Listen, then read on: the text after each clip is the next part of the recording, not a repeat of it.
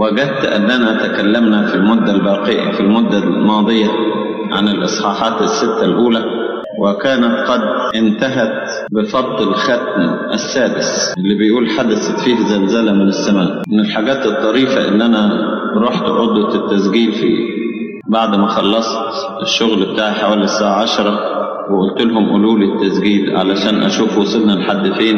وبعدين أول ما قالوا حدثت زلزله في السماء بصينا لقينا المكتب بيتزلزل والأوضة بتتزلزل.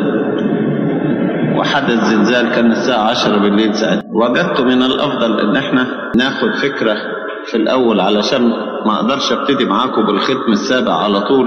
ناخد فكرة بسيطة لوصل المواضيع ببعضها فهذه الختوم بدأت قصتها من أول الفصل الخامس الإصحاح الخامس. بيقول إيه؟ يوحنا الحبيب بيقول ورأيت على يمين الجالس على العرش سفرا مكتوما من داخل ومن وراء مختوما بسبعة ختوم.